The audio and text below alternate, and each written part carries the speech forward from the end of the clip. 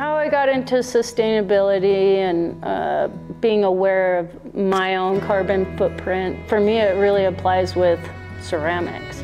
I think about how this object is going to be living in this world.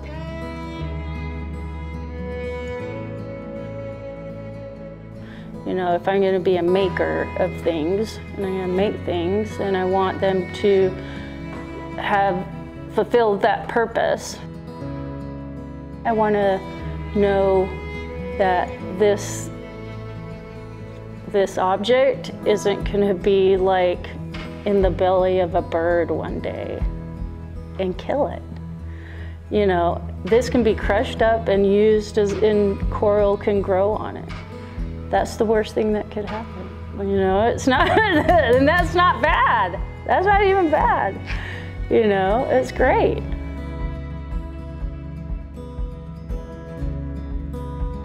Because it's been fired, this clay has been, you know, morphed and I've it's man-made and I designed it and did this and did that. Well, if I break it, then I'll throw it in the trash. But I know if I throw it in the trash, it'll end up in the landfill.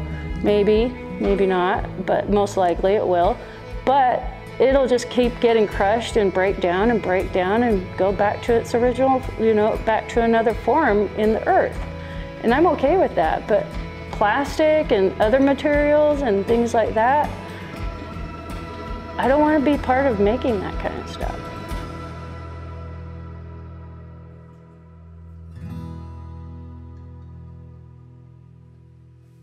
Sustainability, I learned a lot from my dad and how important that is in, for the world to figure how to live with our surroundings. We only have one Earth, one planet Earth. We got to figure it out. When they say sustainable, solar, different alternative energy, what do they mean? Are they comparing that to the carbon footprint of petroleum or what? We're seeing a whole new thing that's happening. And it, and it it's not sustainable still. It's better, can be, but still not sustainable, and it's not good enough. Got to do better.